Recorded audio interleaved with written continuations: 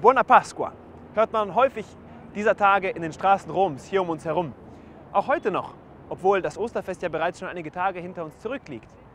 Das Osterfest ist ausgezogen in einen einzigen Tag, der acht Tage lang dauert, um würdig zu begehen, was für uns ein so großes Ereignis ist.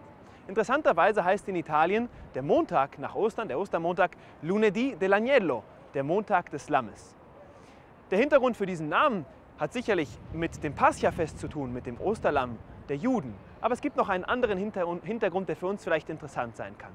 In der zweiten Lesung der Osternacht haben wir das 22. Kapitel der Genesis gelesen, wo Abraham, Abrahams Glaube auf den Prüfstand gestellt wird. Er soll, so wird ihm gesagt, seinen einzigen und vielgeliebten Sohn Isaak als Opfer darbringen.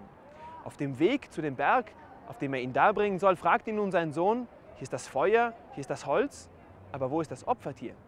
Und Abraham gibt ihm die prophetische Antwort, Gott selbst wird sich das Opferlamm aussuchen. Gott selbst wird das Opferlamm stellen. Und in der nächsten Szene, wo Abraham seinen Sohn fast dargebracht hat als Opfer und der Engel ihm sozusagen in den Arm gefallen ist, um ihn daran zu hindern und ihm bezeugt hat, dass er wahren Glauben gezeigt hat, heißt es, Abraham hebt die Augen und sieht einen Widder mit, seinem Hörn, mit seinen Hörnern im Gestrüpp verfangen. Widder und nicht Lamm. Das Versprechen, die Prophezeiung, die er ausgesprochen hatte, Gott wird ein Opferlamm stellen, ist also noch nicht erfüllt. Wenn nun zu Beginn des Johannesevangeliums Jesus auf Johannes den Täufer zugeht und dieser seinen Jüngern sagt, seht, das Lamm Gottes, begreifen diese, dass es hier sich um jenes Lamm handelt, das Abraham einst versprochen hatte.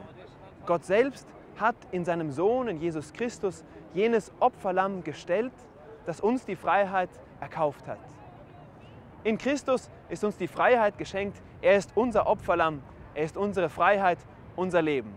Stets und immer und täglich ein Grund zur Freude, besonders dann, wenn wir in der heiligen Messe beten, seht das Lamm Gottes, das hinwegnimmt die Sünde der Welt. Diese Osterfreude möge uns auch in der ganzen Osterzeit und darüber hinaus noch begleiten.